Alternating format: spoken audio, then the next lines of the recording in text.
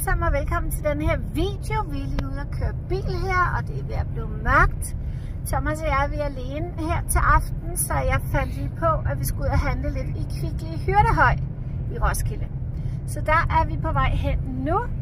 Så ja, så se med på den her video. Du kan som altid finde dit helt eget Sandeville Family Merch samt links til videohilsner øverst i videobeskrivelsen. Her finder du også den hemmelige rabatkode til gratis fragt. Hvis du er ny på kanalen, så håber vi også, du vil abonnere. Det er gratis og hjælper os rigtig meget. Nej, Thomas, jeg har jo været oppe og besøge øh, vores datter Stine i dag. Ja. Og jeg snakker faktisk med Stine om, at jeg har været lidt depri de sidste par dage. Ja. Stine har simpelthen regnet ud, hvorfor jeg har været lidt depri de sidste par dage. Fordi hun siger, mor, du plejer da ikke sådan at gå og være depri. Så siger nej, jeg ved ikke rigtig, hvorfor jeg er lidt depri her. Og Stine har regnet ud, Ja. Hvorfor? fordi jeg ikke har fået noget sukker. Nå. Jeg har jo ikke spist kage de sidste 3-4 dage. Nej, det er rigtigt. Du... Og du har også selv nævnt det for mig, at du tror, det er fordi, at jeg Ja, ja. ikke øh, får noget sukker. Ja. Og Stine sagde, mor normalt er jeg stor fortaler for sund kost og motion og alt det her. Men jeg synes, det er lidt dumt at være på en slags kur i december måned, hvor man skal hygge sig og have pebernødder. Hvorfor ikke gøre det i januar? ja, det er nok. Det er en svær måned, ikke? Jo, At gøre det i. og det vil jeg give Stine ret i. Men øh, jeg sagde også til Stine, at hvis jeg så træner i træningscenter, vil jeg også have lidt bedre med at tage en kage en gang imellem. Ikke? Så jeg star- snakker med Stine om, at jeg skal starte i træningscenter i næste uge. Er det. Ja, det glæder jeg mig meget til. Ej, spændende. Ja. Så nu synes jeg, at vi skal gå ind og købe os noget lækkert aftensmad. Og det kan jo godt være sund mad. Ja. Laks eller Det kunne være lækkert. et eller andet lækkert. Og Ja. så kunne vi jo finde en kage Ja. til dessert. De har faktisk rigtig mange lækre kager herinde. Ja. Her er Kvickly, Hyrdehøj og 365 ligger også derinde. Ja. Oh my god, sindssygt vejr, Thomas. Er det orkan, eller hvad? Har du set mit hår? Total orkan. Hyrdehøj. Ja, hyggeligt her. Ret, ret fed butik, ikke? Jo. Men jeg har, vi har jo været før. Ja, ja, det Jeg har også lavet en video her før, tror jeg. Men det er et stykke tid siden, ikke? Jo, jo. Så. Ej, mine øjne løber totalt i vand, skat. Vi skal hen med en kår derovre. Nej, der er også kommet... Ej, der er også kommet juledekorationer. Vi mangler først et kalenderlys. Wow, med blomster der her. Det havde jeg faktisk helt glemt, de havde. Det dufter ja. rigtig godt. Alt det her, de har her, ikke? Ja. Parfumer og Ja, ja. nisser og alt muligt her til pakkalenderen. Jeg kunne faktisk godt bruge en nejlak snart, Ja. Der kunne forstærke min negle lidt. Ja. Altså jeg tænker faktisk, at vi skal have en pose fyrfadslys. Ja, det kunne da være. Er det ikke hyggeligt med lidt indendørs hygge? Og en lighter. Ja. Det er også altid rart at gå til lysen, ikke? Jo. du siger noget. Han siger noget med manden. Han er altså ret så klog. Nå. Nu skal vi ind og finde noget lækkert mad, og så skal vi altså i kageafdelingen. Stine, hvis du ser med på den her video, du har så meget ret. Livet er for kort til at være sund i december måned. Og hvor er den sød, den pyjamas. Og så er der en Sweet Christmas. Det er lige Nadia, det her. Ja. Sweet. Er vi medlem, fordi det koster 20 kroner? Er vi medlem? Ja, du har da med, sgu. Har du? Nej, det er rigtigt, det har jeg. Men det er jo ikke shampoo, vel? Nej, Det er vel... showergel. Nej, nej, det er du ret i. Det er... Men vi skal have en shampoo og en balsam. Det smarteste vil jo være sådan en ordentlig en Ja. dernede, shampoo og balsam, ikke? De er super fede, synes jeg altså. Ja, Nå, nu vil jeg også tage en hver af dem her, fordi... Ja, så kan det være, at vi kører de store her senere. Jeg synes faktisk, de er ret, ret fede. Ja, ja, ja. Også fordi der er sådan en trykhåndtag på der, ikke? Jo. Ved du hvad jeg tænker på, vi mangler? Nej. Vådservietter. Det har vi altså snakket om det sidste stykke tid. Ja, det er du ret i. Mangler vådservietter. Ja, vi kan finde det herhenne. 7 kroner, det er billigt. Så vi flotter os med to pakker. Tror du ikke bare, jeg skal prøve at købe nogle kunstige negle? Og så selv også lime på. Der mangler faktisk nogle Nivea deodoranter, men det ved jeg ikke, om de har lige her. Mm, Ikke lige sådan ud. Um, og der var også noget andet, jeg tænkte på. Nogle vatrundeller. Her er der vatrundeller.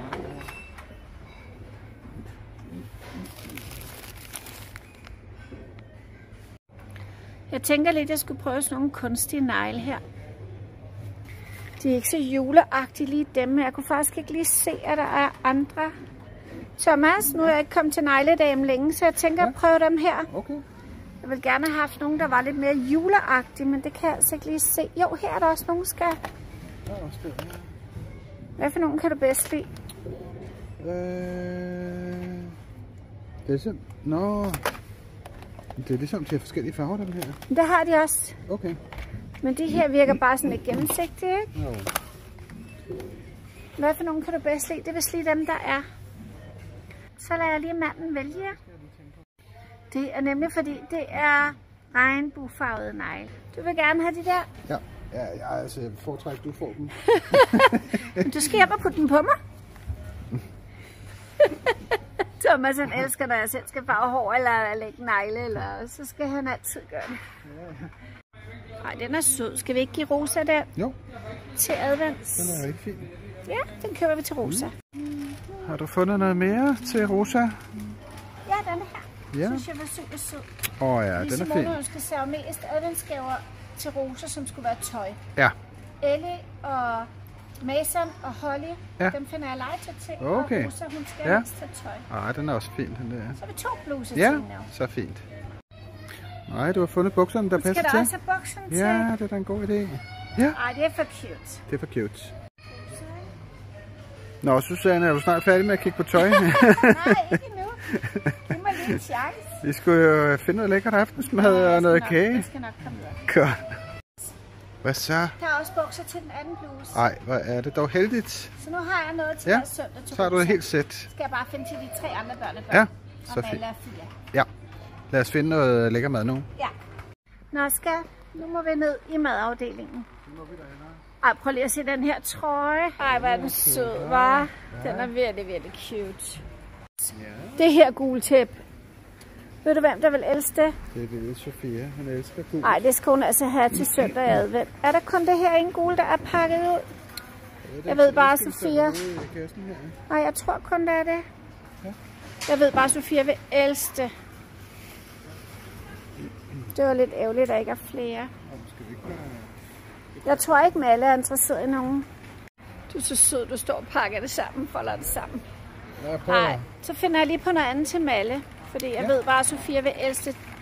Altså, jeg får det til sådan første advent, ikke? Så det- Altså, jeg tænker lidt, at vi skal have grøntsager, steak og banæssauce. Ja, Nu er vi alene hjemme i aften, så skal vi, så vi den. skal vi sgu have Gode romantik. der, ikke? Ja, og lidt lækkert mad. Ja. Det er da Ikke- ordentligt stykke kød, det der. med. Åh oh, ja, det er altså ikke, fordi vi ikke får lækkert mad, når børnene er hjemme. Det er bare, der skal også være plads til voksenhygge, ikke? Der er kalvekoteletter. Er om, dem kan jeg godt spise. Ja. Skal vi ikke tage sådan to Jo. kalvekoteletter? Det ser altså lækkert ud. Og så bernæssauce og pomfritter, Thomas. Og så hjem og åbne en flaske rødvin og se en god tv-serie. Nej, det lyder så hyggeligt. Så er der altså bare hygge i det lille, i de det lille Ja, hjem. Der er 10 kroners forskel, men det er begge to kalvekoteletter. Hvad er forskellen? Det vil jeg ikke se på datoen måske. Ej, det ser da også lækkert ud herovre, Thomas, hvis man mangler smørbrød? Åh, ja. Men nu blev vi... Ja, det gør det, men nu blev vi jo enige om i dag, vi vil... Øh, vi vil lægge. Thomas, du kan også få en her, hvor det er samlet med steak. Det ser også lækkert ud, og kartoffel. Ja, det er svært at vælge, ikke? Hvad var det, du sagde, skat? Jeg siger, vi kan da tage sådan nogle kartoffelrysti. Åh, ikke meget lækkert? jo. Dem der, der Var det fordi, du så den der platform, Ja, der lidt. var sat Ja, jeg sammen? blev inspireret. Ja, så lad os det, og så lad os finde nogle grøntsager, og så ud i bæren og finde en kage. Ja, ja. Nu Stine fået Ja, til at, hun har inspireret mig til at få lidt kage. De er her. Der er ikke så mange tilbage. Ej, det kan jeg da godt se. Der er der andre, der har smag på dem her. Ja, lad os tage dem. Ja, Og så bernæssauce til. Og nogle grøntsager. Altså, jeg elsker broccoli. Det er noget af det bedste. Ja, lad os tage det. Og så lad os finde en god rødvin. Og Ja. skal vi snart hjem og hygge og skal hjem og pakke adventsgaver ind til børnene. Jeg har også fået en hel kasse ind ad døren, hvor jeg har købt noget online. Det er jo ved at være tid til at skulle have styr på det, både til børn og børnebørn. Oh my god, se lige den her drømmekagerolade. Ej, den ser da virkelig lækker ud. Så er der creme ind i. Ja. Ej, den har jeg altså aldrig set på den måde som drømmekagerolade. Den ser virkelig god. Wow, skal vi tage den? Ja, lad os prøve det. Ser da god ud. Så behøver jeg ikke gå over i bageren og, og få lyst til endnu mere kage. Det kan være, det bliver vores yndlings. Det kan da sagtens Den der nougat det plejer altså også at være en af mine yndlingskager. Ja, det er rigtigt. Den er altså også sindssygt god. Ja. Nå, lad os finde noget her i spotvareafdelingen. Der er sikkert noget lækkert rødvin. Du plejer at være god til at finde rødvin, der er rigtig god. Jo, tak. Så... Altså rødvin fra Sydafrika, det plejer altid at være godt. Der er sådan lidt sødme i. Den Taler den til dig, Ja. og den er fra Sydafrika? Jeg tror faktisk, vi har haft den før. Ja, så tager vi det. Nå, jeg mangler noget julepapir, fordi jeg er jo ved at pakke adventsgaver ind. Så er spørgsmålet jo bare, hvad der er sødest. Ja, jeg faldt over det der. Den her? Ja, Ej, den er også super sød. lille Bambi. Lad os tage den. Ja. Og er det ikke også hjerternes tid? Jo, det er det. Tager vi også en. Ja. Og så skal jeg bare have noget, øhm, jeg tror, jeg har købt bånd her, ikke? Det er. Jeg tænker, vi skal have noget mere tape. Ja. Ja, der går noget til i den Ja, her tid. det er dem her, der er rigtig smarte, så kan man lige klistre på. Ja, Det kan man ikke få nok af. Jo. Skal vi også lige have den. Og så, så tror jeg, at vi har faktisk styr på det meste. Se, der er også kunstige julestjerner der, Thomas. De har også de sødeste nissemænd, men altså, vi har jo så meget julepynt. Ej, se den der, hvor der står velkommen. Ja. Jeg tænker ikke, at vi skal have mere julepynt. Kan du huske, hvor mange kasser du havde? Jeg kan godt huske, hvor mange kasser jeg havde. Nej. Men de er nu cute, ikke? Prøv at se den her. Ja. De er simpelthen bare så søde, de nisser der. Har min mormor leve nu, ikke også? Så hun købt den her nisse. Jeg har seriøst verdens grimmeste nisse inde på mit kontor. Men jeg har arvet fra min mormor, så den betyder rigtig meget for mig. Heksenissen. Ja, men jeg tror også, den er rigtig gammel. Ja, Alle vores børnebørn har været bange for den nis. ja. Den ser også skræmmende ud. Jamen, det gør den. Jeg er, jeg er også bange for den. Er du også bange for den? så er det ikke så godt, den hænger inde i soveværelset. Nej. Man kan også blande selv slik her. Det vidste jeg faktisk ikke, man kunne. Jeg tror lige, jeg tager en enkelt pakke mørk chokolade. Det er nok meget godt, når man, øh, du ved, til skyr. Ja. Men jeg tror i hvert fald, at det skal være, ja, denne her, Ja. 70 procent. Den tager. Den tager vi. Men så ved vi i hvert fald, at man også kan blande selv slik her. Så er det allerede, du ved, julegavetid her. Ej, er det ikke Bluey, som både Mason og Mason og Ellie samler på? Hey, se. Det er Poppy. Playtime. Nej, det er noget, du samler på. Poppy Playtime kommer jo et nyt spil snart. Ah. Nå, Thomas, Ja. vi skal se at komme ud. Vi skal hjem. Tak fordi I så med her på hyggehjørnet, og jeg må have noget kage, så jeg kan komme i lidt bedre humør. Og nu er det snart jul, så skal jeg da også være i Christmas mood. Christmas mode. Ja. Tak fordi I så med. Husk at abonnere og give videoen et like, så ses vi snart igen. Hej. hej. hej.